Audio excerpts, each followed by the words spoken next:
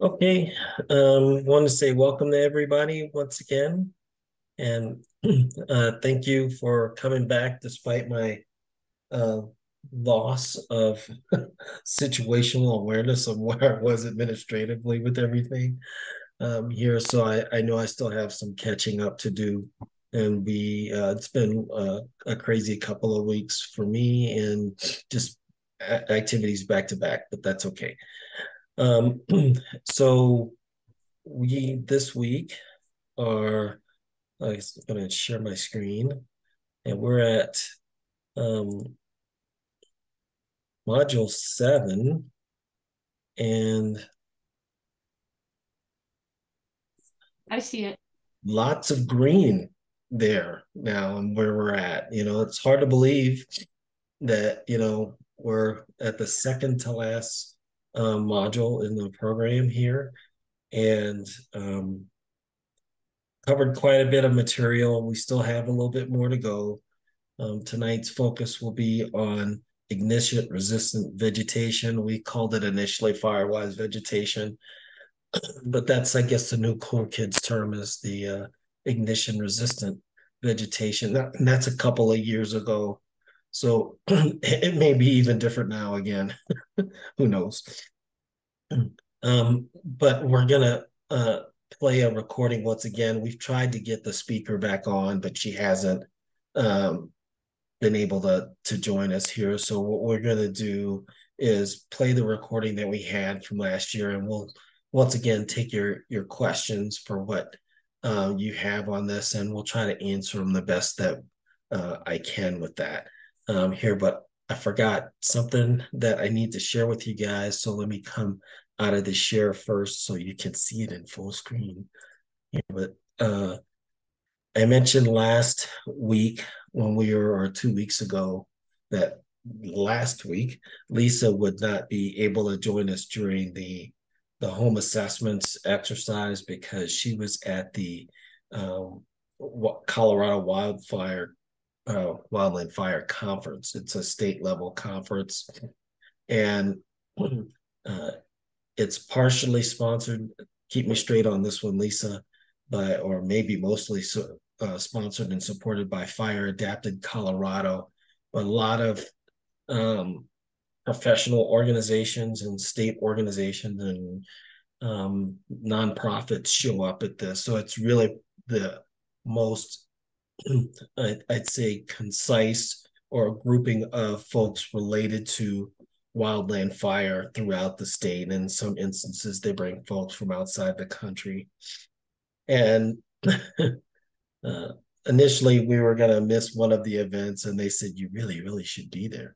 And uh, so Lisa went to it and represented, and she also did a presentation, by the way, in front of a lot of people um, on her book and um, the neighborhood perspective related to that. So Lisa has gone from, you know, just your average everyday citizen, you know, interested in helping people to now this published author and acknowledged, uh, I would say, major player in the wildfire movement here. And uh, it's um, what we've done here and what she's done literally, literally, um, is um, being acknowledged in the community. And there's great growing interest in it. And during one of the sessions there, the Fire Adapted Colorado uh, recognized our little small group with uh, a really nice award, and I wanted to show it to you here on the screen here, but it's this uh, training award, the award that came from their organization, and it's um, it's just a, a, a great another acknowledgement that what we're doing is on the right track, and that little award came with a nice um, letter to us here about um, the work that we've done, and we've been not doing this for the the recognition, but really what the recognition gives us is validation that we're on the right track. And then people are asking, well, what are you doing with the program and how is it benefiting people? And they want to bring it to their area. is the the thing that we discovered is that the there's plenty of information out there, but it's really about walking the journey with you guys from the start all the way, you know, through a point where you can go uh, and start applying this yourselves. And really, there there really isn't um, many programs, if any, that we know of that really do it to this extent. So I think that's the the thing, the lesson learned for us is that when the professionals are asking us how are we implementing this, then we should take notice and just keep plugging and keep doing what we're doing. So uh, really proud of the acknowledgement that we got from uh, from FACO and they're another partner for us here as we go forward. We we took their program mm-hmm. and we basically brought it to life and uh, we're implementing it. So we we recognize a lot of similarities in what we are doing. So we're now wanting to uh, continue doing that and uh, seeing how we can replicate this going forward. So, is Lisa, was there anything you'd like to say? Uh, anything more on your experience from last week? It was it was actually I mean despite how despite how there was so many people to be around, I had such fun meeting new people and they kept coming up and asking us about this training program that we're doing that you guys are in. So you guys watch out. You might have to help us teach it. right. okay. All right. Any other? Oh, I, I actually I wanted to reflect on last week's um, Firewise uh, assessments exercise. I'll say thanks once again to Heather and to Elizabeth for allowing us to use their properties here. And I think it's always good, uh, a good practical when you can go out and then uh, apply what you learn, and that really is the the difference. And I think uh, understanding what to do. There's so much knowledge out there, but there's always so many different variations of things, and so we were able to see the differences between the two properties, and then the different structures and how they're working things. So, and there's that every property we have out here is a journey you're not going to be able to get everything done um, in a short period of time in some instances, or there's some things that are you're you're at refinement stages here to be able to to really get closer to fire adapted. But as close as you are, your neighbor may not necessarily be there too. So you may have to make adaptations to your property based on your neighbor's attitude and the amount of work that they need to do too. So um, I think we learned a good bit last week here. And uh, for those of that were there, uh, is there anything you guys would like to mention about your experience with going through that exercise?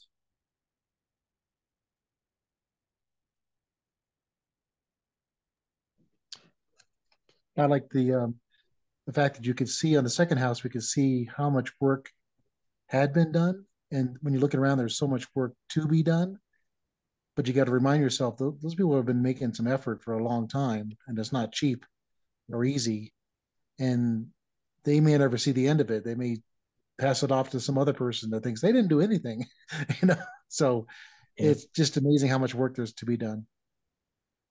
Absolutely. Some people um, inherit more of a problem than others that's for sure. And you you don't know it whenever you buy your property. I certainly didn't know it when i bought mine. And so the you can see you know you, you just do the best you can with what you have and be smart about the the money that you're spending here. So and let's see. Heather mentioned it's a great time such good practical application. So that's good. I appreciate that. All right. So uh, with that i'm going to um, go ahead and switch back over to the to the video session and then uh, we'll halt it along the way. If you have a, a, a, question, you can put it in the chat as we've done before, and um, we'll stop the video if we need to to to explain it a little bit more. You know, this one's a little bit longer, and there's there's some instances that you'll hear repeats of what we said before. So once again, that to me, it's validation of what we're we're teaching. Oh, you're going to see a couple of red lines on the screen. I'm not sure what happened. We had somebody that was had some sort of drawing tool on the screen that uh, I wasn't able to do anything about at the time here. So I apologize for that.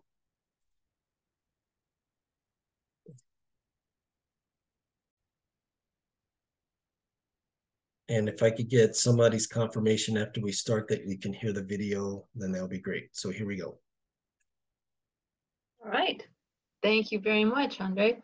A pleasure to Yep. be here with you all this Thank you. evening. And um, I'm sorry, could you say that again? That, we could hear Irene and now we're back to Irene. Okay, yeah. Okay.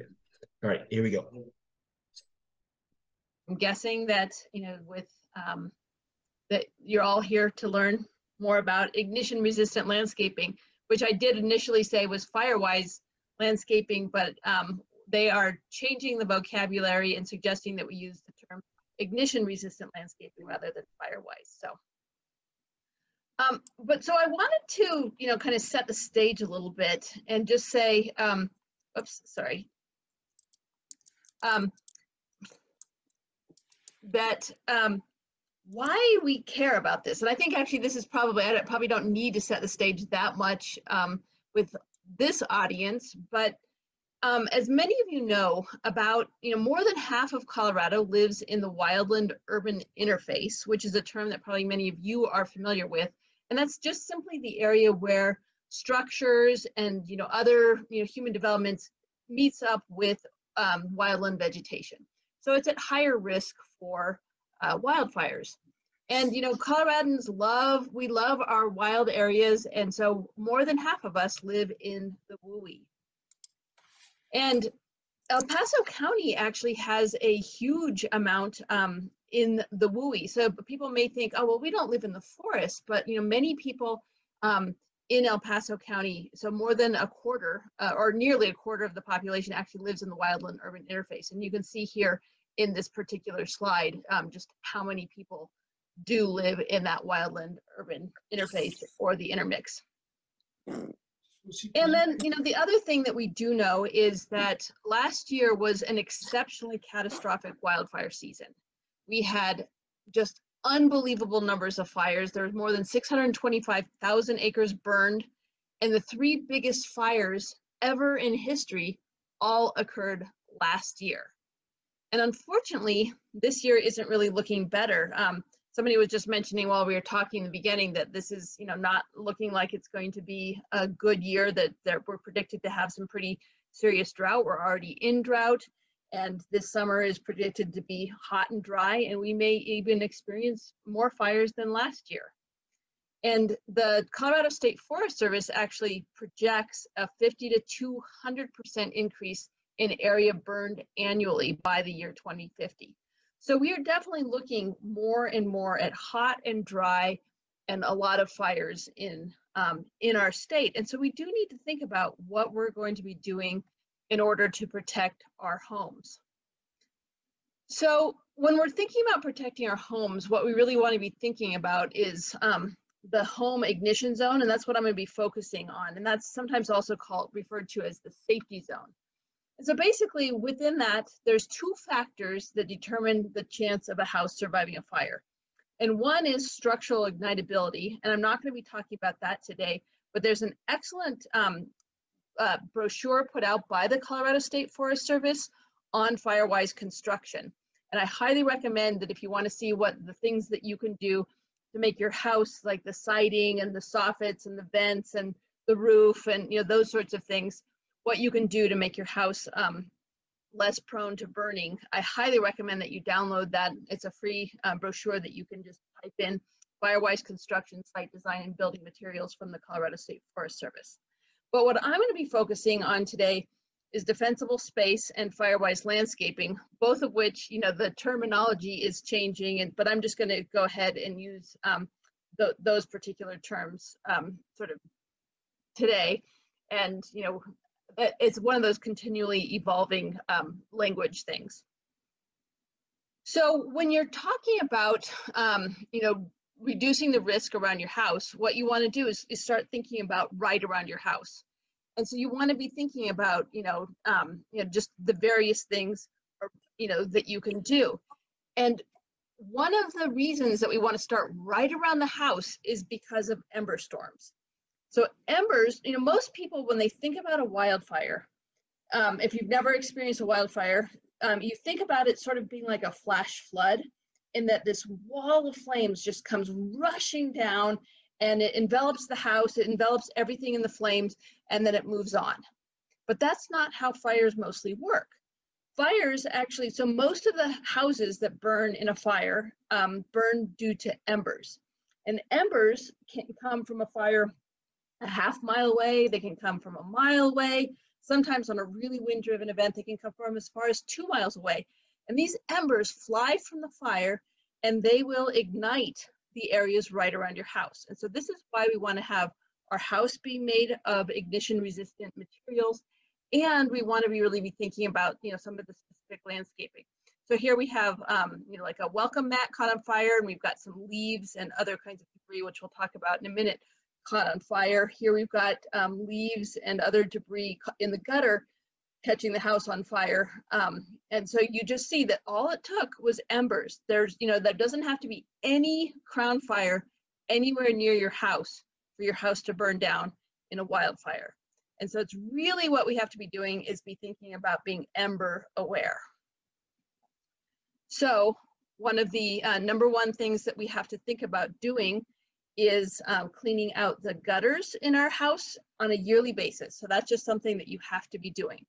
Clean any debris, any branches, anything off the roof, and then also rake up any pine needles and leaves that are going to be collecting near your house. So for example, here's some, you know, like, so think about, um, you know, in the springtime when you go out around your house, the winds will have, you know, carried little currents of, of pine needles and um, and leaves and other things right near the edges of your house. And those leaves and pine needles are the perfect tinder in order for the embers to land in and to catch your house on fire. And it's all snugged up right against your house. And so then you have this beautiful little tinder patch, and then that is right next to your house, and that can actually catch your entire house on fire. And so you want to be thinking about those. And so you really have to be thinking about the embers catching your house on fire versus again that wall of flame. And so one of the very best things, this is actually probably the number one recommendation that I can make is to act to create a three to five foot um, non-flammable vegetation free perimeter around all the sides of your structure. So this needs to be kept clear, but if you have this, then, and this is, you know, rake out the needles and the leaves and the ember storm comes, there's not going to be anything for them to catch on. And so they're just going to kind of fall on the ground and burn themselves out. And they're not going to catch your whole house on fire versus when the ember storms come and there's a whole bunch of leaves and needles or, um, you know, there's uh, a bunch of flammable material here, then that can catch your entire house on fire. So this is probably the number one thing you can do to protect your house is just that three to five foot non-flammable uh, perimeter but also don't don't just think about the house really think about the stair to ground junctions. So you've got to have you know so um, here's a picture of a house that um, you know the house itself was okay but the uh, stairway was wooden and there was material there was vegetation that was going all the way up to the stairway and there's probably some leaves and needles here. And so the stairway caught on fire and then came up and was going to burn the house down. This particular house had a firefighter there to save it um, so only the front porch burned. But if you didn't have a firefighter there to save your house, which in all likelihood, um, when we have fires in Colorado, they tend to be very fast moving and the likelihood of actually having a firefighter at your house is very slim. So you have to think about your house standing on its own. So you want to make sure that you've got something so that non, you know, that three to five foot non-flammable perimeter has to extend to the stairways and under the decks of your house. And so um, so think about that as well. And then the other thing is don't store anything combustible on or under your decks. Now, it's so convenient in the wintertime if you've got a wood burning stove to have that firewood right outside your deck. And maybe you want to have it for, you know, some little ambiance or a little fire pit. Um, but, you know, this particular house, if you look at it, we have some live trees here in the background. And obviously there was not a crown fire that engulfed this house, but we did have embers coming from the distant fire. I mean, I'm not exactly sure how far away the fire was. And it landed on the firewood in this deck. And it started to catch on fire. And you can see that this um, porch was starting to burn. And um, a firefighter did get there and was able to um, throw away all of the, the, the firewood that was um, on fire and also uh, put out the fire here. So if there hadn't been a firefighter there, this firewood on the deck would have caught the house on fire. The same could be said for if you have um, patio furniture with you know nice fluffy pillows or anything like that. You want to make sure that you do not have anything combustible on a deck. And then also think about your fences because a wood fence actually acts like a fuse. So here's another house and we've got some, um, we have a few burned trees here, but we still have some green trees around here. And what happened here was that the embers landed on the grass fire, the grass, uh, uh, landed on the grass, and the grass caught on fire, came up to the fence, caught the fence on fire, and the fence was starting to burn. You can see here in this picture, this part of the fence burned, and it was heading towards the house because of um, the wooden fence being caught on fire. And so again, a firefighter here was here to save it, opened up the, the gate of the fence to stop that fuse and allowed the house to not catch on fire. But again, if there hadn't been a firefighter there, this would have just caught on fire, caught the house on fire. And so then, um, and, and you know, so that wooden fence really um, is a dangerous thing.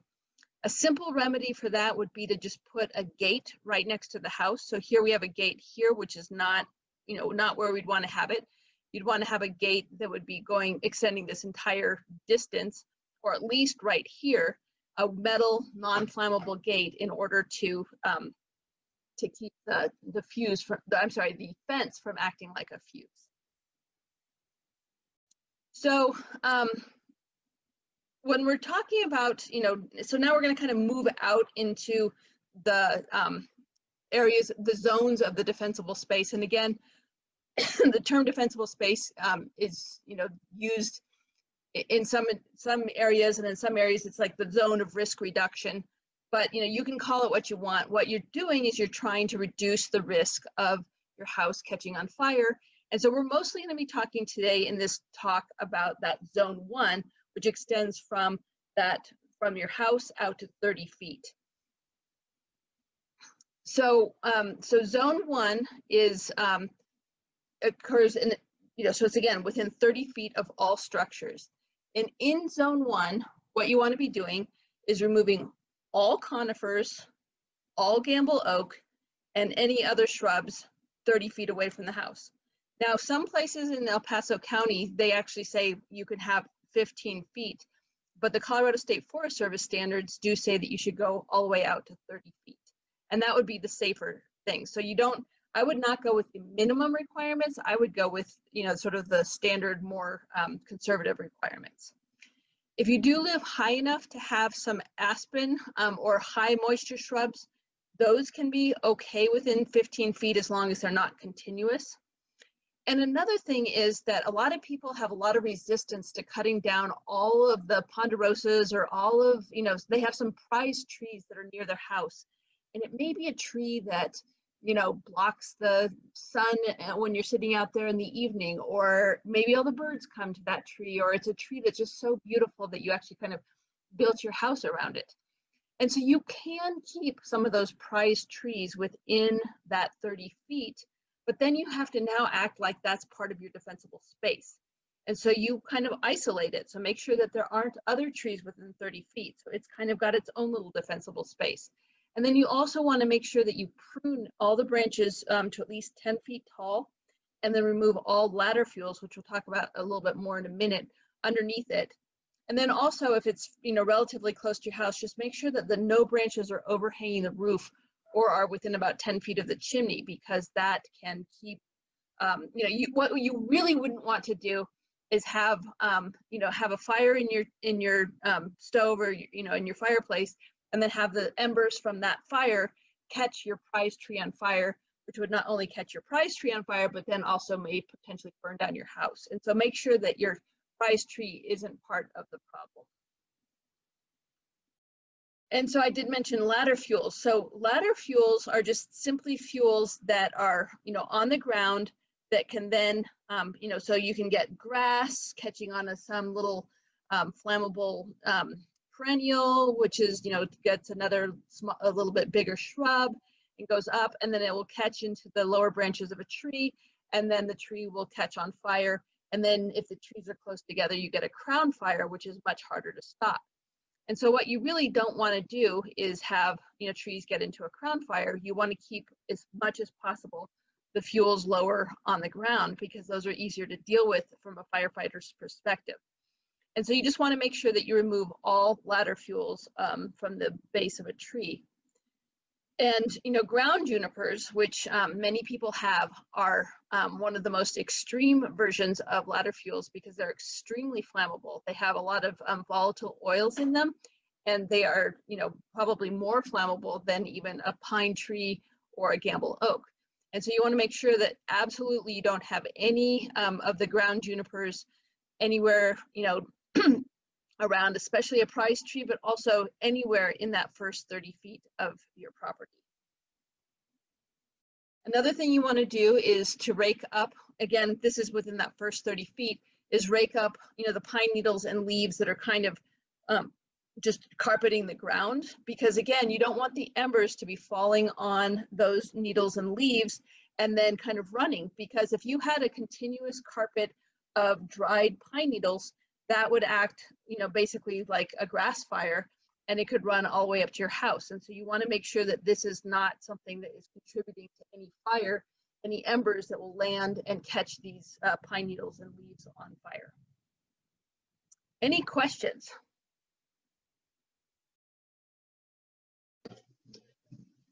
Um, nothing so far in the chat. Okay. All right. Excuse me. Then moving on. So now I want to sort of talk about, so this is, that was sort of the tough love talk portion of the talk. And, you know, I was in Gilpin County for many years. I lived in Gilpin County for, for 20 years, and that's all about 9,000 feet. The entire county was in the wildland urban interface. And I spent a lot of time working with people about their defensible spaces and, you know, trying to convince people to work on, on defensible spaces. And I met with a lot of resistance. And uh, one of the biggest reasons for the resistance was that um, people just said, you know, I moved up here for the nature, I moved here for the trees, I love this all, and I don't want to cut things down. And it's going to be a moonscape. It's going to be terrible. I can't stand the thought of this. And you know, and I can I can understand that perspective. And so, in, fact, here's a kind of a more extreme case in point. So I found this um, article in the in April 2013. It was a Boulder Home and Garden magazine, and it was um, an article featuring this the house of a man who had lost his house twice in fires. So he lost them once in the Black Tiger fire and once in the 2010 Four Mile fire. And so he really built an ignition resistant house, which in the house itself is quite quite attractive, I think. Um, but this is what his landscape looks like. And he says it's devoid of decorative landscaping. And that to me looks like you're living in a perpetual construction zone. It's not the kind of place that most of us want to call home. And it's not the kind of place that makes you just think, yeah, sure, I'll cut down my trees and live in a place like that. That's not how most of us want to live. And I get that.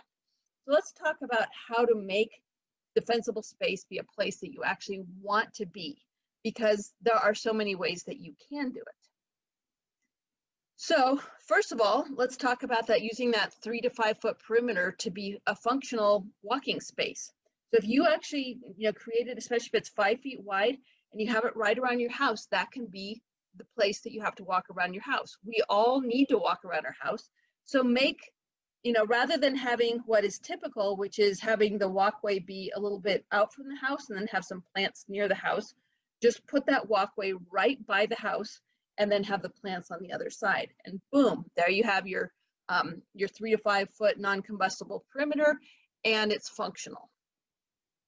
And you can make it attractive. So it doesn't have to be an ugly, you know, pathway. It can actually be quite attractive. And people have done all sorts of creative things with bricks and flagstones and other kinds of things that make you think, yes, I like this. This looks good.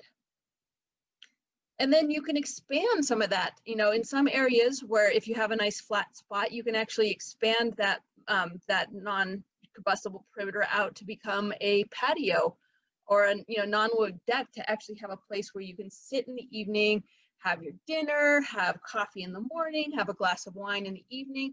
And so you can expand that to be, you know, a place that you really want to sit um, and enjoy. And if you don't have a flat space, which a lot of us don't, um, you can use, uh, you know, you can have a, a metal deck or you can use, um, you know, a deck that is made with, uh, you know, some of the plastic timber.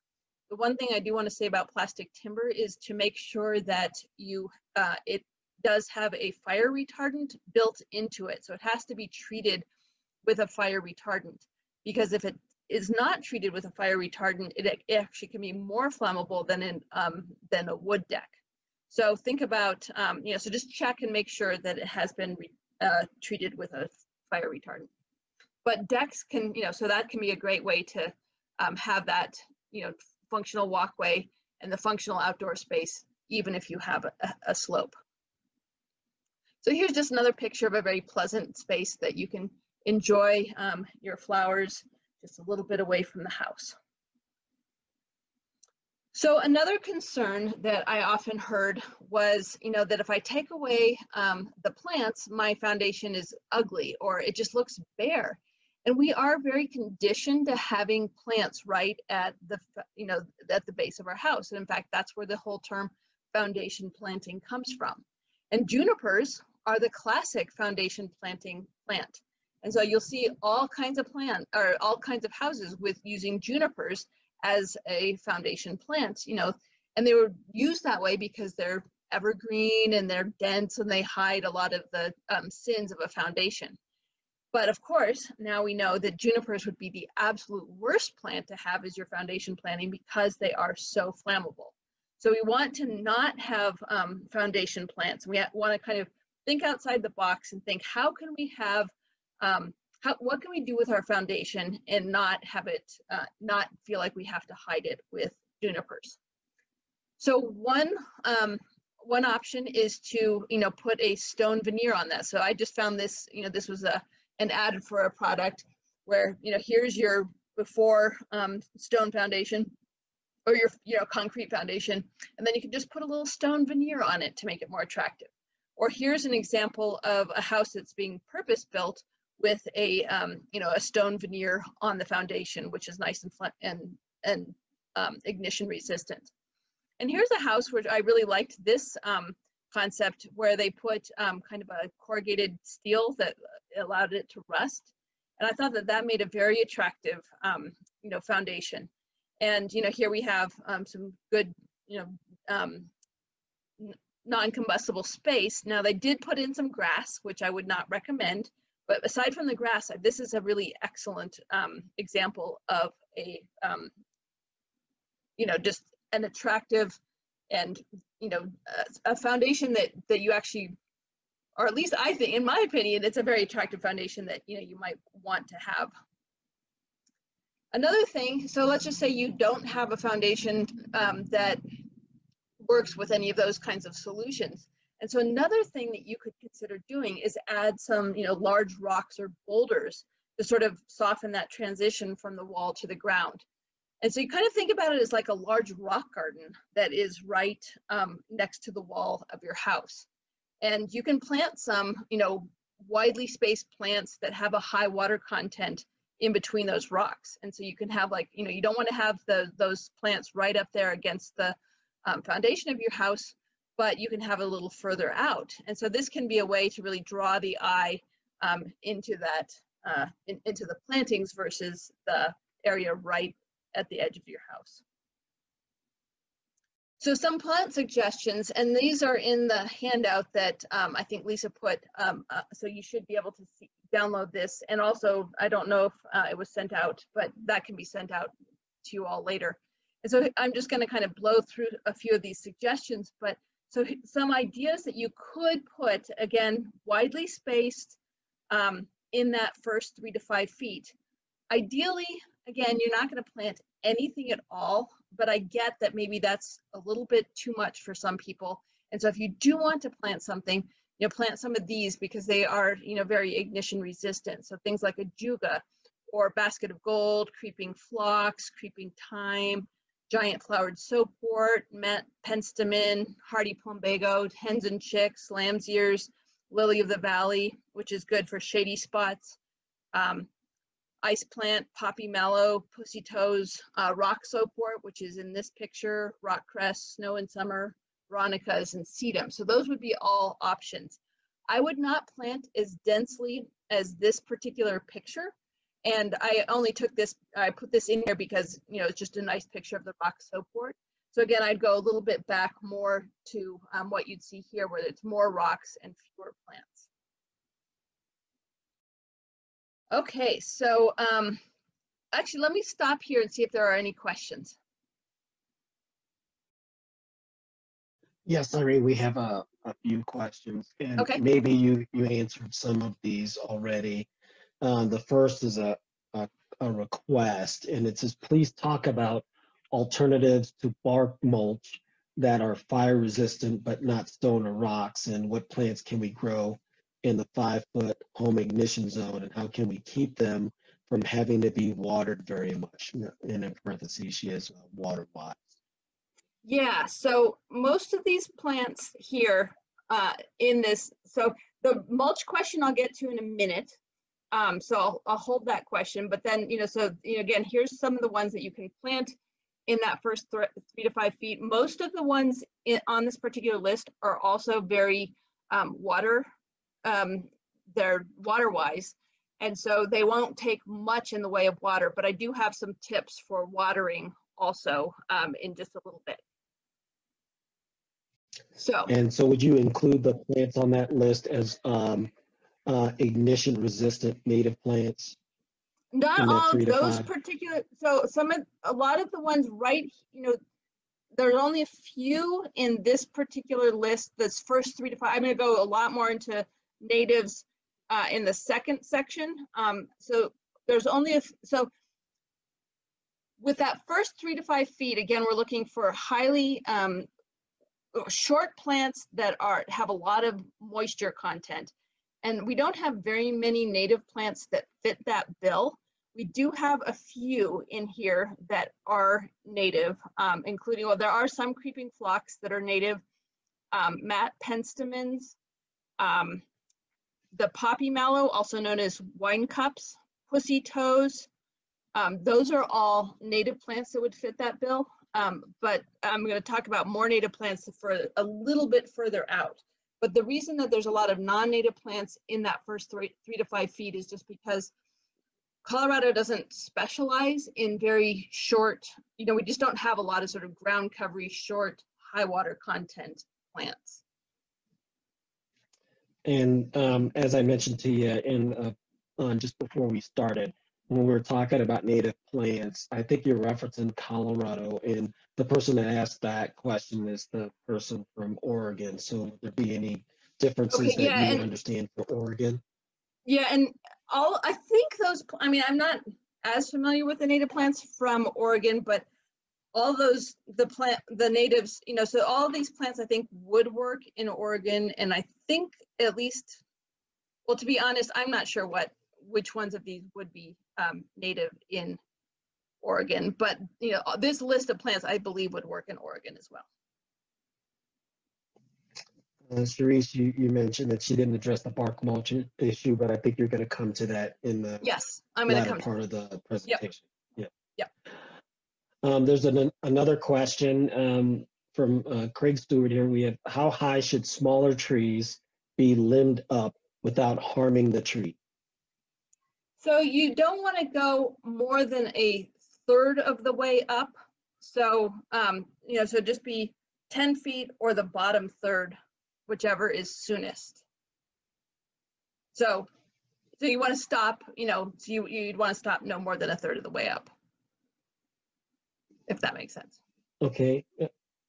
Yeah, it does. Thank you. Um, we have another question from Ed, and this relates to your plant list once again. Please state which plants have two qualities.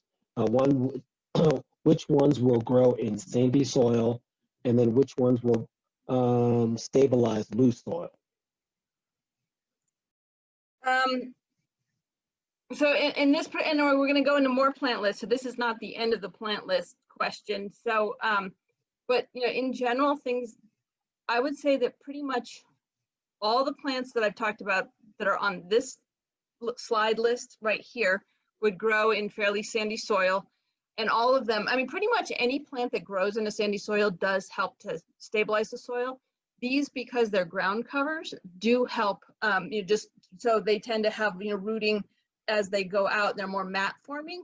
They tend to do a, a good job with um, stabilizing the soil. Okay, thank you. And the uh, a request from Becky Zitterich, can you talk about fire resistant and fire tolerant plants and the role they should play, AKA blue grama?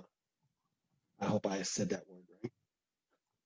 So fire resistant plants don't tend to get, um, they don't just, they tend not to ignite, you know, just because they have a higher moisture content and they don't have a lot of, um, and actually, why don't we talk, let's talk about that at the very end. I think that might make a little bit more sense, um, maybe. Um, so if we could circle back, Becky, would you ask that again if I don't remember to circle back to that? Okay, so uh, two holds offs here and uh, we'll track those also. Okay. All right, that's all we have for now. Okay, great. So hopefully I'll get to the bark mulch question in just a little bit. Um, okay, so now we're gonna talk about from five feet out to 30 feet out. So just some general tips for this zone. So again, we talked about that first, you know, three to five feet, which ideally will have no vegetation, but if you have to have a little bit, we talked about what that would work. So from this zone, what we want to use again is ignition resistant plant materials. And so, um, you know, ideally you want them to be relatively short and the closer to the house, the shorter they should be. So, you know, kind of have a gradient. So, you know, anything that first three to five feet should be very short. And then as you go out to the 30 feet, they can get a little bit taller, but you kind of want them to, you know, graduate up. You also want to make sure that they're very, uh, have a low sap or resin content. So again, we, we talked about the conifers and um, things like sages that have, you know, a lot of volatile oils in them. You want plants that don't shed or accumulate a lot of dead branches or needles or, you know, any sort of leaves or debris. Um, so you just want to make sure that there, there's nothing dead there that the embers could catch. You want things that can be easily uh, maintained and pruned, and you want to prune back all the perennials in the springtime so that you don't have a lot of that dead, um, easily flammable material above ground when the summer dries out. And then you want them to be drought tolerant. So somebody asked about, you know, the water wise.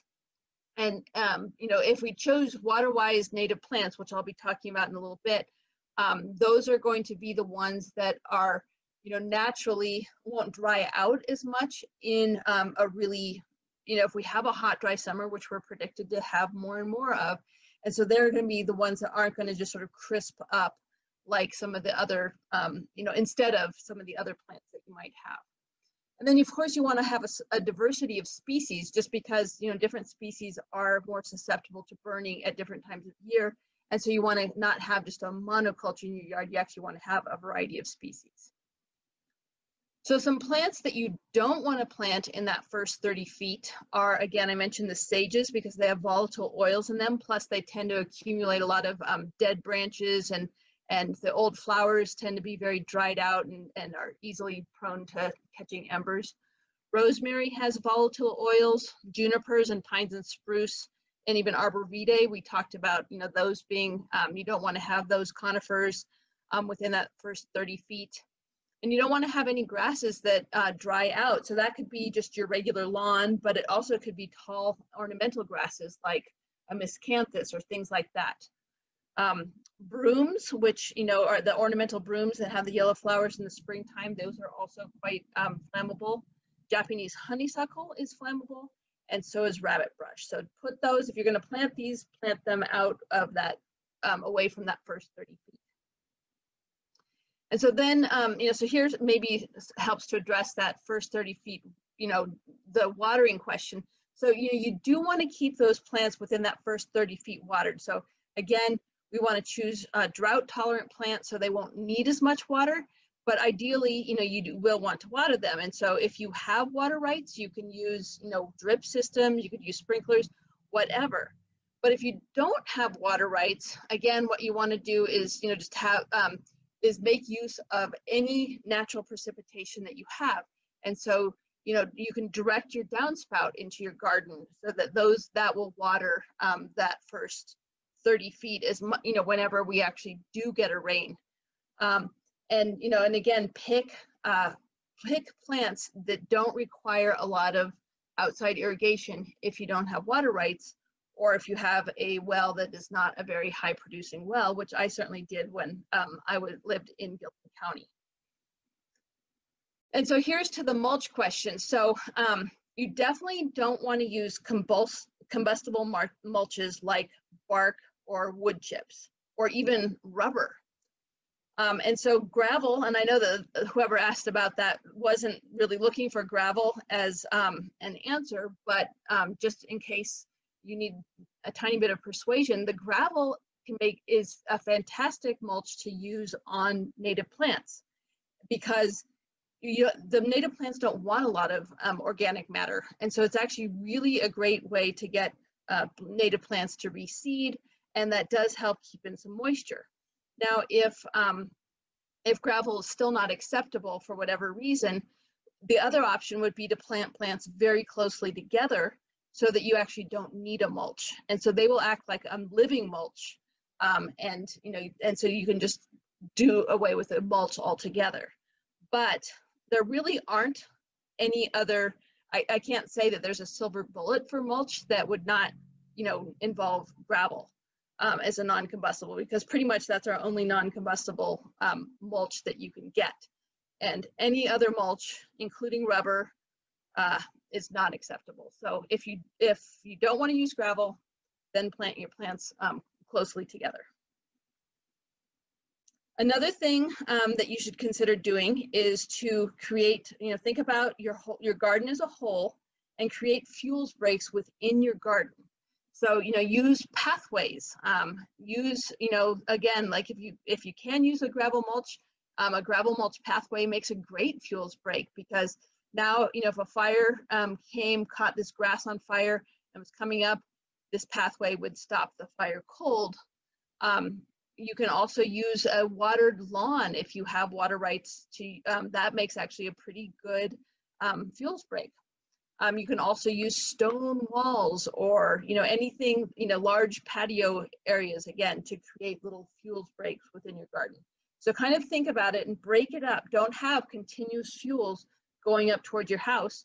Make sure that there's places where the fire is just going to fizzle out if it does start catching and running up towards your house. And you know, so, and again, like you might be saying, well, I don't have the flat ground, but you can have a garden um, even on a slope. So again, if you took out the trees here, you could um, terrace the slope and plant a garden. Um, you know, or put, you know, so you could either put, um, you know, rocks or, um, and I would particularly recommend rocks versus, you know, ties, just because um, these are wood. Although there's so the a railroad tie you know, especially one that is not treated with creosote or something like that, it's pretty hard to catch that on fire. But if you can do, um, a, a, if you can terrace with a with rocks, that would be recommended. So here's just some examples of that. And then again, in the springtime, make sure you trim back all your perennials just to keep, um, you know, any dry dead materials out. So, you know, cut back those tall grasses. And if you do have a lawn, make sure that it's, you know, it doesn't get taller than four inches, um, which is also actually the height for the most healthy lawn that you can have, um, because you don't want it to, you know, be able to carry uh, fuel or carry a fire up to your house. Okay, so let me just stop and check before. So this is going to be a, a, few more plant lists, but I just want to make sure um, that I address the the bark or the mulch and water question adequately. Um, I'll uh, Cherise, uh, do you have, is that okay with you, or do you have a follow-on question? No, that's fine. I mean, I, I, I practice those things, but I have a lot of very resistant um, people I advise to who are asking me what to do instead of bark mulch. But the other thing that they're also recommending now in some circles, which I disagree with, is the use of fire retardants on the mulch. Because from the literature, it leaches out within a few months and it's also toxic to pollinators and the soil microbiota. Yeah. I, I also disagree with using a fire retardant on the mulch.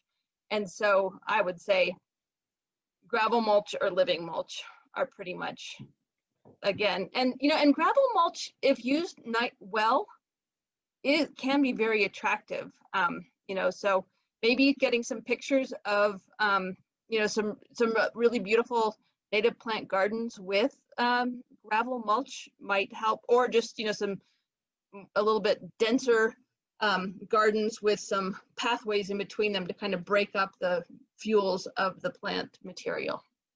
Yeah, I, I think those are good ideas. The other problem though with, with uh, the rock mulches is leaf gathering. I mean, the trees and the shrubs are dropping leaves all the time, and when you want to get those leaves off, you're sucking up the gravel, which ruins your equipment. Yeah, gra- Gravel size does make a difference, even though yeah. pea gravel can be very attractive. It's not necessarily appropriate where you have leaf litter coming down.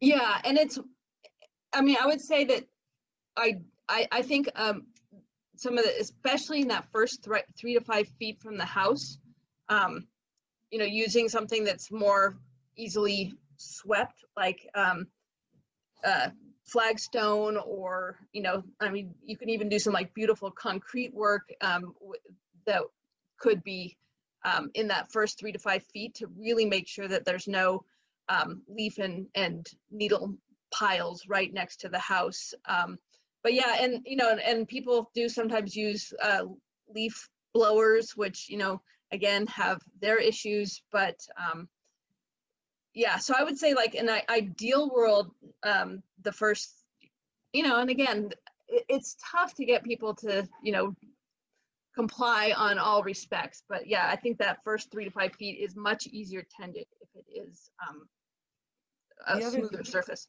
The other thing that I've heard recommended, and I do myself, is I use compost instead of mulch. It doesn't have that much flammable material in it if it's properly composted. Um, That's what we Yeah, I mean, here. I, I would say that that's certainly better than um, than a bark mulch. Um, but I would still say that um, either the gravel mulch or um, just other plants would be a little bit better. Okay, well, the, the, I'm sorry for taking up so much time. This is That's just okay. a huge topic where I'm at because a lot of people are very concerned about um, the developed environment. I actually am not in a forested environment, but in a small city environment, Mhm. not being eco-friendly because, and also causing, um, by putting out all of these non-organic materials, heating up the atmosphere in the city and around towns. So I'm trying to find alternatives that are not harsh on the soil, still allow microorganisms to do their job, uh, pollinator friendly, and um, fire resistant. And finding that balance is a challenge because some people are saying, I won't even come to listen to you because I don't want our location to look like the house that you described or even similar to that. So I'm trying to make compromise things happen and that's why I'm bugging you on these points. Yeah, no, that's fine. Um, and again, I would say in- that case, probably, you know, just planting uh, denser plants and then putting some, you know, fuels breaks with pathways in between would, Okay. might be the, you know, because that, you know, and I'll, and I'll be going into some of the, um, the drought tolerant native perennials that also provide, you know, habitat for pollinators in, um, that's my next little bit. So I think that there is a way uh, to sell it. And I would say that if they are concerned about the heat islands, um, yeah, then the more plants and then you just break it up with some pathways. Okay, thank you. Uh, we have a, a question from uh, Kristen. Do you have a preference for gravel size, meaning rock size? Um, it kind of depends on what your purpose is. I mean, you could, you can do almost any size that you want. I would say that you're gonna get, if you're trying to get your native plants to reseed, um, the more pea gravel size is gonna be more effective for that. But, um, and then I guess, you know, the other thing with the larger gravel is that it tends to accumulate a little bit, you know, leaves can accumulate a little bit more um, readily in the larger gravel size. Um, but I would say probably you can go with, you know, I would say, I would say if, if it's a question between gravel versus um, bark mulch, then go with whatever gravel you want. Okay, thank you. Uh, we have two questions from Lucy. The first one is, what, what depth of gravel is needed? I couldn't hear the last word you said. Needed? Oh, What needed, thank you. Of gravel is needed. Needed, okay, um, so I would say that you don't need a big, a deep, you know, I would say like an inch and a half would be fine for most, um, you know, for gravel. You could go up to two inches, but you don't really need to go beyond that. Okay, her second question is, how do you deal with amending soil, adding new plants, etc., if you have to, all that loose gravel on top to avoid it being mixed into the underlying soil? So you'd want to amend your soil before you plant. Um, you know, so if you, if you have, you know, so if, if you, I mean, depending on whether you're starting over with a new bed or not, um, amend your soil. The other thing though about native plants is a lot of times you don't need to amend soils because they're used to our very lean Colorado soils. And so unless you're dealing with a kind of new development where the um, soils have been scraped off or um, you know, just really poor compacted soils, you may not need to amend soils if you are kind of sticking with native plants. Um, and even some of the other xeric plants are, you know, pretty good about, you know, not needing a lot of soil amendment. But if you are going to add a new plant and you have a couple inches of gravel, um, you know, just what I'd do is just kind of dig the gravel away from the new hole that you're putting um, and if you need to add a little compost or something like that into, into the hole, that's okay. And then plant it, put the soil back, and then put the gravel back on there. Now, if you're needing to do an entire, you know, like a larger area, I would try to rake the gravel away from the area that you're planting and then deal with that. So I guess it just depends on how large an area you're talking about. Okay, thank you. Um, we have a comment more like uh, Becky Becky Zitter sharing her technique. Um, she says, "I have a large I have large rock under my deck. However, pine needles accumulate over the top and are almost impossible to rake off that rock without spreading that large rock everywhere. I'm gradually getting down to just native decomposed granite, which is super easy to rake. It doesn't look fancy, but it works really well. Yeah, I mean, that's, you know, that, that's certainly the, um, i i the simplicity factor. And sometimes that's what trumps everything. So yeah, that, that can be a, a good solution for sure. Okay, uh, we're caught up on questions and comments now. Okay, great. So now I'm just going to talk about a few um, plant choices. Um, and so one of the things that I really like to say, you know, do is try to combine, you know, to say if you're if you're kind of removing some trees and other kinds of things, replace it with with um, with plants that are beautiful, but then also provide habitat and also some joy to the gardener. So these are just some um, examples of some plants. Um, you know, they're kind of uh, paired. Um, you know, just I would just try not to have too many slides, and so this is just um, some plants. But you know, the pasque flower and golden banner are both spring blooming plants. They're great for early pollinators.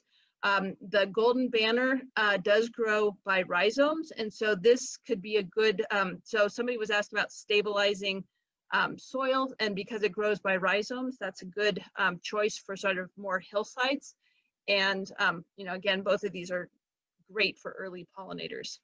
Um, the thing about the golden banner is that because it grows by rhizomes, if you have a small planting space, I don't think I would recommend it because it does tend to take, you know, it does tend to grow somewhat aggressively.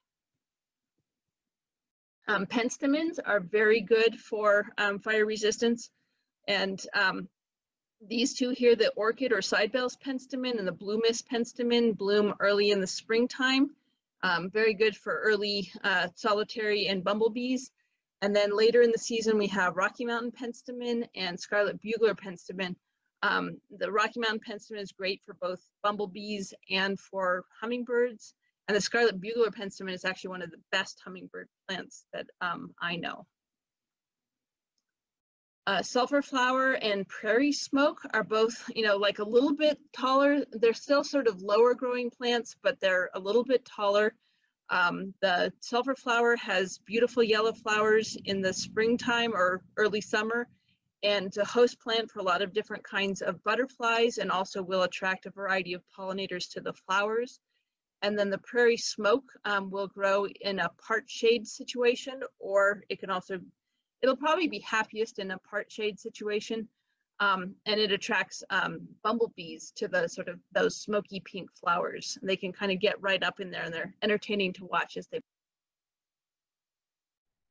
I'm sorry to halt. Uh, Emma, Emma asked if I could go back to go back one slide. So I'm gonna do that here real quick, okay?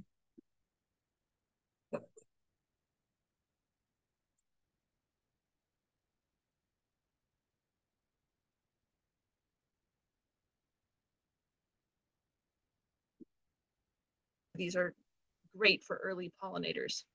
Um, the thing about the golden banner is that because it grows by rhizomes, if you have a small planting space, I don't think I would recommend it because it does tend to take, you know, it does tend to grow somewhat aggressively. Um, penstemons are very good for um, fire resistance. And um, these two here, the orchid or sidebells penstemon and the blue mist penstemon bloom early in the springtime. Um, very good for early uh, solitary and bumblebees. And then later in the season, we have Rocky Mountain penstemon and Scarlet Bugler penstemon. Um, the Rocky Mountain penstemon is great for both bumblebees and for hummingbirds. And the Scarlet Bugler penstemon is actually one of the best hummingbird plants that um, I know. Uh, sulfur flower and prairie smoke are both, you know, like a little bit taller. They're still sort of lower growing plants, but they're a little bit taller. Um, the sulfur flower has beautiful yellow flowers in the springtime or early summer and a host plant for a lot of different kinds of butterflies and also will attract a variety of pollinators to the flowers. And then the prairie smoke um, will grow in a part shade situation, or it can also, it'll probably be happiest in a part shade situation. Um, and it attracts um, bumblebees to the sort of those smoky pink flowers. They can kind of get right up in there and they're entertaining to watch as they pollinate. Uh, silver lupin is um, a little bit more drought tolerant than some of the other lupins like the Russell hybrids. Um, and it's great for a variety of different kinds of bees and butterflies. And then yarrow um, is another rhizomatously growing plant. It's deer resistant. So this will um, help to stabilize soils. It will grow in you know very sandy, decomposed granite type soils. Um, has you know small flowers, so it'll attract a lot of smaller pollinators, but also um, butter butterflies and bees. Bee balm, as you might guess, um, has it does attract bees, but it also will attract butterflies and hummingbirds. And it is uh, deer resistant because it's pretty strongly flavored and smelling and um, and looks it's a beautiful flower in the middle of the summer. And then another summer bloomer is black-eyed Susan. This is a biennial. It is attractive to a variety of different bees and butterflies. And then later in the season, um, the seed heads are very, very attractive to finches. And so it provides um, several seasons of habitat. Harebells are a very widely adaptable plant. They can go all the way up to timberline, but then come down to uh, lower elevations as well. They look really great in the garden, um, attract small bees. And then uh, blanket flower um, also is a good middle of the summer blooming plant that attracts a lot of different butterflies and bees. And I think the combination here is a really good zingy summer combination. So if people are, you know, wanting something, you know, if they're in a more built environment and they're wanting um, a showy look that's not going to look too native, you know, to um, you know people who are worried about HOAs or other kinds of things like this. This combination uh, is very very show stopping and also provides some good habitat. Showy daisy and columbines um, are also another good sophisticated combination that you know nobody's going to complain about. I don't care what HOA you're in. Um, the showy daisy bloom, these will both tolerate um, a part shade situation. And in fact, I would recommend that with the columbine that you give it um, maybe like an eastern exposure so it doesn't get the afternoon sun. Uh, and the showy daisy can tolerate um, dappled shade like under, you know, a smaller tree. And these two look wonderful planted in combination with each other. And then, um, you know, something to consider, which, you know, a lot of people think, oh, you know, if you're talking water-wise planting, you know, you're only talking cactus. But, you know, cactus actually have some great horticulture potential that people, I think, overlook a lot. You can get these beautiful flowers in the middle of the summertime that are fantastic for pollinators. Um, and they come in a variety of different colors from yellows to oranges to pinks and then, you know, they can get red fruit on them in the fall. And um, some of them even turn like this purplish color in the winter. They provide winter interest. And they're also so, uh, you know, ignition resistant that you could put these within the first th three to five feet of your house, as long as you, you know, aren't too worried about the um, spines and the glochids. So you, you definitely want to be, you know, conscientious of those but they would be worthy of putting, you know, closer to your house. And then another species that, you know, I think gets, doesn't get anywhere near uh, the love it should is yucca. Um, I'm completely in love with yucca and they have this incredible architectural presence. They look great all year round. They have these beautiful spikes of flowers in the springtime, um, like usually in June. And um, and also are very, very ignition resistant. And so again, you could put these a little bit closer to the house if you don't need to walk right near them. Because the, the very spine tips are a little bit on the short, sharp side. And then, you know, some um, uh, ignition resistant perennials that aren't native, but they're still, you know, in that drought, drought tolerant um, category um, include things like hardy geraniums or rock rose, um, other lupins, oriental poppy, Jupiter's beard, salvias, agastaches, and spring bulbs. So those would be things that you could also um, plant without any problems. And then moving on to some shrubs. So again, we mentioned that ideally you won't have any shrubs within that first 30 feet, but if you have to have some, make sure that they're not continuous. Um, so a shrub patch should be less than 100 square feet within that first 30 feet. So, you know, should not be bigger than 10 by 10. And um, you shouldn't have any within that first 15 feet of your house. And so you can kind of think about using shrubs as more like a hedgerow, maybe 30 feet from your house if you've got that big of a property. And you can kind of consider it as, you know, maybe creating a privacy screen to replace any trees that you had to cut down. Um, and your shrubs should have a high water content. So, you know, things like lilacs or mock oranges are, you know, examples of higher water content shrubs. And shrubs that you should consider using with a with caution would be Apache plume and mountain mahogany. And those are just because they tend to get a few little, um, you know, they have sort of plumose um, seed heads that may be slightly more prone to igniting. So some shrubs that would be within, um, that would, I would recommend would be serviceberry. So this provides great habitat because it's got pollinator um, attracting flowers in the springtime. It has berries, which are edible for birds and very attractive to birds, but also edible for humans. And then it has a nice red fall color. Chokecherry is one of the very, very best habitat plants that you can grow. It has, um, you know, fragrant white flowers in the springtime. It produces a glossy black berry, which is um, very attractive to birds and also to bears. Although if you are concerned about bears coming, they would only They would come, they would strip the choke cherries, but they wouldn't, you know, be a constant returner to your house. Unlike if you're putting out trash every day, they would learn to come back to your house um, on a continual basis, but they don't return to the choke cherry and become a problem. And then they also provide um, host, they're a host plant to a lot of different kinds of insects, which then provi- provides food for birds. They can become a pretty suckery plant. And so this is a great thing if you are trying to create a taller privacy hedge. And it can become a problem if you're trying to have just a shrub that, that doesn't sucker. Shrubby cinquefoil is a nice um, refined looking plant. It has lots of yellow flowers for a long season of bloom and attracts a variety of different pollinators. Golden currant is one of my favorites. It's blooming um, now, depending on where you are. The blooms attract hummingbirds in the springtime, and then you get uh, berries, which are edible for humans and for birds, and then it turns a beautiful red fall color.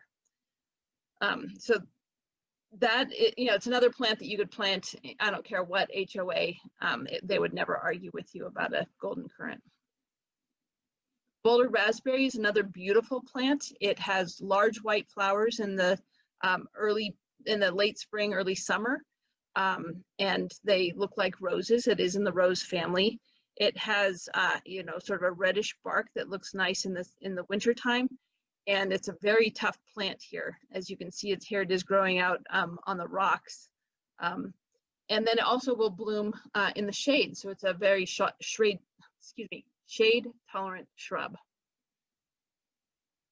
And red twig dogwood, which is, um, it's, it will appreciate a little bit of extra water. And so this would be something, you know, that to plant if you have a little bit of a uh, area that collects some extra water. Um, or, you know, you have the ability to irrigate um, the red twig dogwood is a nice fire resistant, or I'm sorry, ignition resistant shrub has white flowers in the spring, produces white berries that um, are attractive to birds. And then of course it has the beautiful red color, which, you know, is the classic winter interest plant. And a Cheyenne mock orange is a regional native, so it's not quite native to Colorado, but it is native to Idaho and further up. And it has beautiful white fragrant flowers um, in the early part of the summer and it's you know just a fantastic shrub. This one I had um, this was growing at my house, but I had it outside of my office when I was up in Gilpin County. Whenever it was in bloom, people would come in and be like, "What is that shrub? I have to have it because it's just so delightfully fragrant." And then lilacs, which are not native, um, but they are, you know, they do have a high water content. They don't tend to accumulate a lot of, um, you know, dead branches or anything. These also can make a great um, a great tall, you know, water resistant shrub. And they are attractive to a lot of different um, bees and particular butterflies. So, um, so if you do have somebody, you know, who, who doesn't want some of the other shrubs, this would be a good choice as well. All right, I think that is the end. So any other questions? Yes, we have uh, quite a few actually.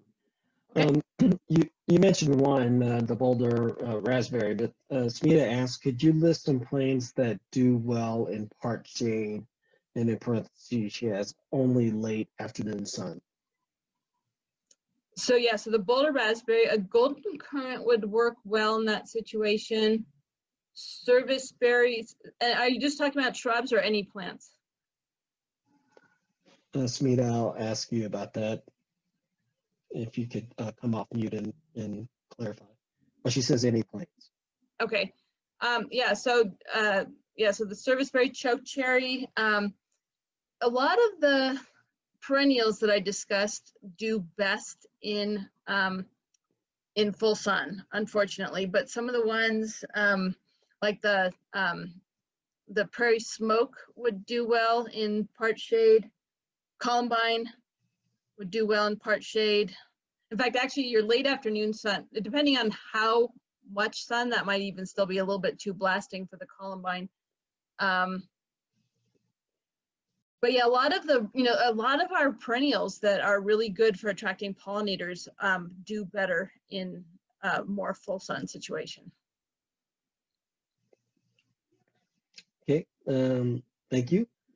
Uh, Dave Root asked, "Ha- has there ever been an effort to encourage nurseries to promote Firewise plants in the same way they promote xeric plants?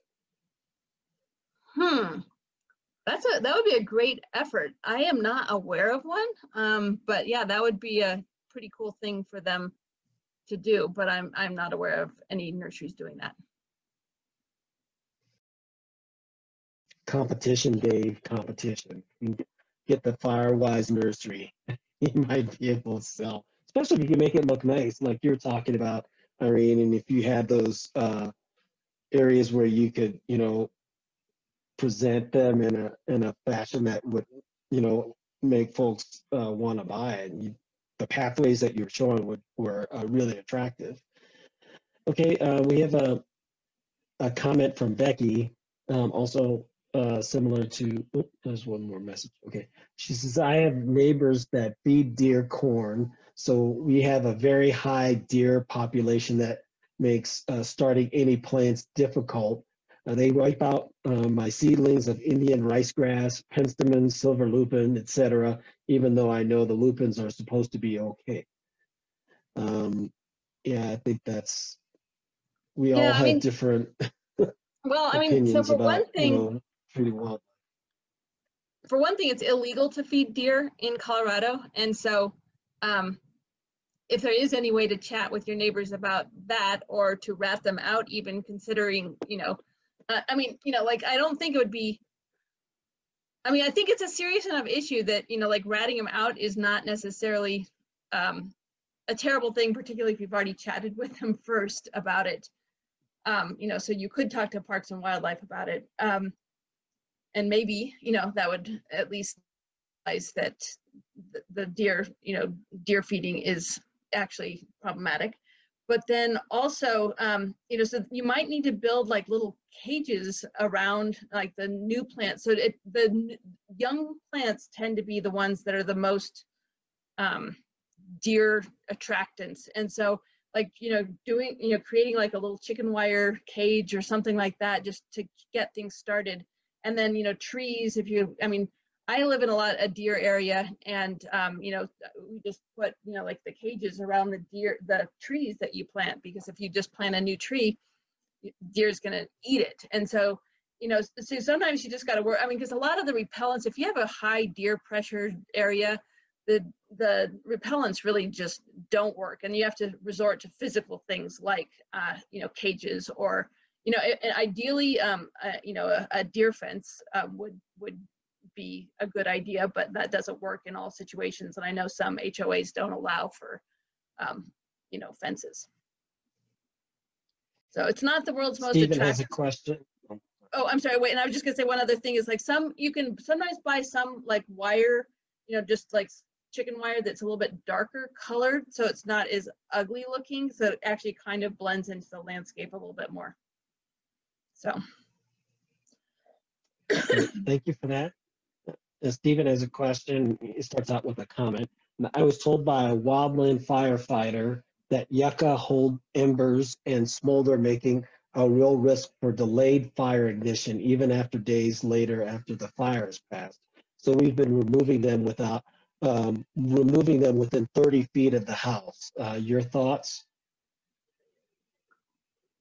Boy, that um, I guess I'd have to do a little bit more research on that. I think if you did have like a, I I could see how if you had a really intense um, you know, fire that came through, that would be more of the sort of you know the wall of flames and not the embers, and that then you know, and it got to be you know so intense that the roots would catch on fire. That there is a lot of stored um, carbohydrates in the you know in the deep root system, and so I could see how um, you know, that could hold, uh, y- you know, might be able to sort of hold fire in for a long time if you had that intense of a fire. But if you're just talking about like ignition resistant, uh, it's still, it's, it's still one of the less um, ignite, it's least likely to actually ignite just simply from embers. So I guess maybe there's, you know, like a little bit of a, um, I guess it depends on how, uh, you know, like if you did get to the, the fire that would, that would be really um, intensely hot, um, it, there could be some potential for that. So I think if you don't, if um, you're, I think it'd be fine to remove them within 30 feet of the house. I think you could also, you know, um, just keep them a little bit further out. Um, simply because I don't, they're not a, a plant that's, you know, um, going to promote a lot of um, spread. But I, I- I guess I'd have to do a little bit more research on that because I, um, because everything that I was reading was, you know, was really promoting it as a um, very ignition resistant plant. But I could see once it got started that it could hold. So anyway, I'm repeating myself. Sorry. Hey, Andre, Oh, that's okay. uh, Yeah, this is Dave. Dave, but, you know, I have never heard of yucca being a fire hazard. I've never heard of them catching embers. Uh, that may be something new, but it, it strikes me as unlikely. And that's certainly all the research that I I, think had we've done. But I think we've seen or heard of situations where um, a material, either living or, you know, um, a building material that was resistant, uh, uh, the fire was so hot that it exceeded any kind of protective parameters with it. So you give me a scenario, I can find a way to, to, to basically uh, overcome it. So um, I, like we've all been talking about all along, we're talking about risk reduction. And so um, this gives you a better option than others. And I think that's what Irene is trying to get over to us. There are no or very few perfect solutions, you know, to it. And I think we've heard Cherise talk about the difficulty um, in the the perception of the the folks that live there. Plus, you know, you're dealing with your environment and what it's like uh, there too. So yeah, uh, so I would just frame it in risk reduction terms. You know, you're trying to have the best, most beautiful appearing landscape and have the materials that reduce that risk uh, to your home and your area. Okay, folks, I'm gonna halt the recording here. Really, that for the most part, the the remainder of the the questions. Um, there's Q and A uh, here for about a ten or twenty more minutes here, and we'll provide the recording to you uh, so you can listen to the entire thing if you'd like to uh, hear the other questions here. But I want to prov- uh, provide a few more or a little bit of time for us to be able to talk about or to, for you to ask questions here that we may not have heard. So anything from the group or issues that you think you've seen that were contrary to what Irene mentioned?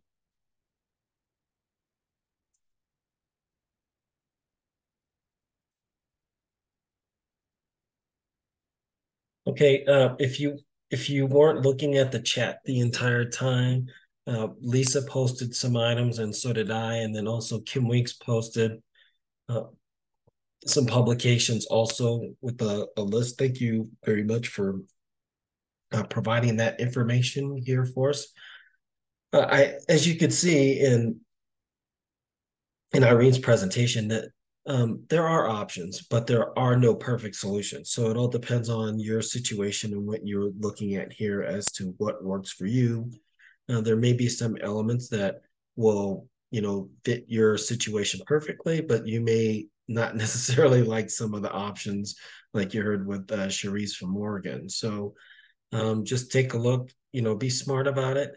Uh, the the handouts do give you options. There are, if you go to El Paso County Office of Emergency Management, there are different um, flyers that you can get from that on ignition resistant um, vegetation too, that so that you could take a look. So you can bring those with you to uh, the nursery if you were, or do a little bit of research beforehand and see which ones look good to you, and then bring those over to nurseries and see if you can get them. So uh, with that, I'd like to open it up for any questions or comments or anything from your end, Lisa, that you'd like to mention. I've already watched this video. This is the third year in a row I've watched this video, but I always learn something new from it. And now that we're at our new house, I'm just wishing I could do this stage of it, but we're still at the deconstruction phase right now. Lisa's cutting a lot of stuff from her house right now. Oh, I have some stories that I won't tell you this tonight. Yep. Okay, folks, uh, with that, I want to be respectful of your time. And I want to say thank you for being with us once again. And we have one more session next week. It will close out um, the program as uh, we've seen in terms of the academic portion here. And it's going to be with Robin Adair from the Pikes Peak Regional Office of Emergency Management. And she is going to discuss uh, emergency or uh, evacuation and emergency preparedness for us here. So uh, please come. We'll have a, a, guest speaker. She will be live and it won't be a recording this time uh, here. So we'll have Robin. She's fantastic. She loves uh, questions and um, I, I think uh, she's a great asset for us. So please uh, come back. And then uh, next week we'll talk about the, the closeout and then looking towards the summer. Oh, so, do we have, is there any homework this week, Andre? I forgot to even ask you that before. Nope, not for this week. So uh, if you still are working on homework elements, please, you know, keep doing that. Lisa and I are going to start looking at a composite list of homework as we've gone here to, to look at our, our three neighborhoods here. So um, don't, don't feel that if you're behind, that that's uh, an issue. Just keep plugging away, and then let us know. The more, the most important thing is that you're making progress here, and there's a, a benefit to doing that. So um, with that, we'll be see you next Tuesday, and hope you have a great week, and you're all clear to drop. Take care. Thanks, Andre, Lisa.